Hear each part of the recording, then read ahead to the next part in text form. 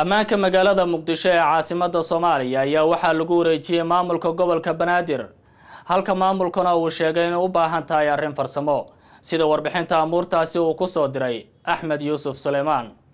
kulankani oo looga arrinsanayay sugidda amniga magaalada muqdisho ayna ka soo qayb galeen guddoomiyeyaasha degmooyinka gobolka banaadir taliyaha ciidanka booliska gobolka banaadir taliyaha nabad sugidda gobolka iyo taliyaha nabad sugidda qaranka soomaaliya. Ayaa waxaa looga hadlay sidii loo sugi lahaa ammaanka magaalada caasimadda ee muqdisho taa oo waayihii dambe ku soo laalaabteen qaraxyo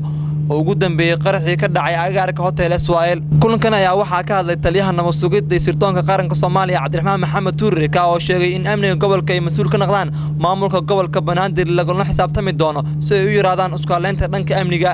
Halkan caawa waxaa ka soo baxay go'aanno. Go'aanka koowaad oo ka soo baxa waxaa weeyaan gobolka banaadir inuu amnigiisa mas'uul ka noqdo asiga oo aan lagu hadlayn dad kale oo gobollo kale mas'uuliyaddoodu mas'uuliyadda gobolka banaadir ay ka hayaan ay la wadaagaan gobollo kale oo ay mas'uuliyad ka hayaan.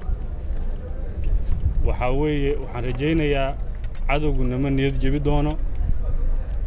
Shaqo badan baa la qabtay. Xanuunka dhacaya waa dareemaynaa waa dib ha loo noqdo dib loo noqon maayo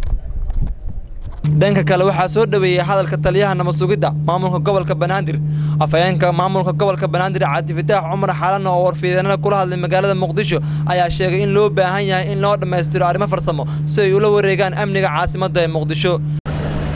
Amniga magaaladan isku hallayn ma in qofku qof ku halleeya sax maaha waa in mas'uuliyaddu ay qof gaara taabanayso oo loo baahan